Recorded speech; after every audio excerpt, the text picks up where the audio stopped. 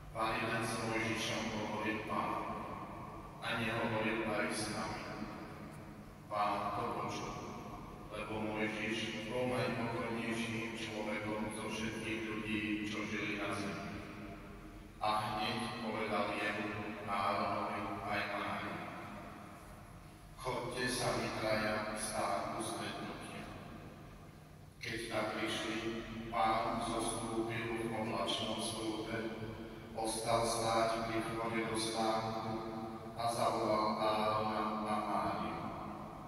Keď predstúpili, povedal im, počujte moje slova. Ak budete mať medzi sebou, alebo s ním budem hovoriť o. No nie tak s mojím služobníkom Mojžišom. On je najvernejší